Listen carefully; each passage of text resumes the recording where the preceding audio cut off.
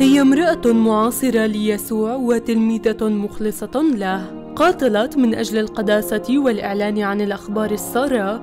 تلك هي مريم المجدلية إحدى أهم القديسين في تاريخ المسيحية.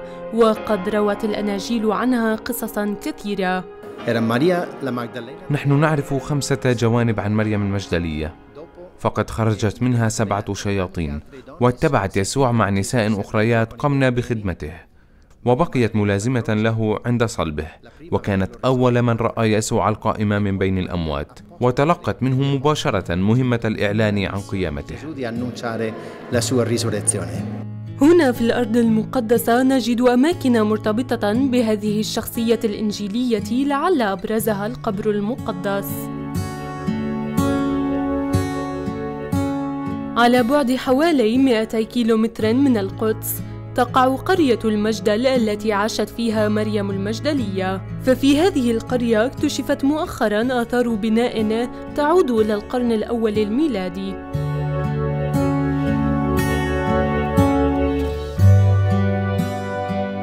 هنا على ضفاف بحيرة طبرية بنيت كنيسة تستحضر ذكرى لقائها بيسوع.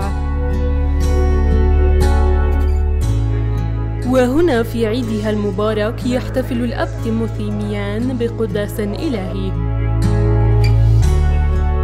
وحضر القداس المكرس لها محبون ما زالوا يتعلمون منها. Sto trovando qui a Magdala che عرفت مريم المجدلية منذ طفولتي فقد كان ثمة وفاء كبير لها وسط عائلتي واليوم بفضلها هنا في المجدل. نحث على كرامة النساء وشفائهن الروحي والعقلي والبدني من خلال الصلوات التي تتلى في هذا المكان.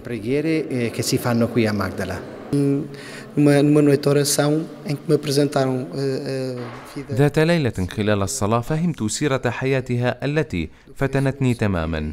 ومنذ ذلك الحين قررت السعي لاكتشاف المزيد عن تفاصيل حياة هذه القديسة وأدركت أن قصة حياتها غنية جدا وهي مثال لجميع المسيحيين. هي أيضا مثال يحتذى بالنسبة إلى جميع النساء اللواتي أحببن يسوع وتمنين الإعلان عن هذا الحب للعالم أجمع. Es muy especial para mí celebrar el Día de María Magdalena aquí. الاحتفال بعيد مريم المجدلية هنا في المجدل في هذا المكان الذي ولدت وعاشت فيه مناسبة خاصة جدا فحبها ليسوع مثال يحتذى بالنسبة لي وهي مثال امرأة تعيش حالة حب مع يسوع.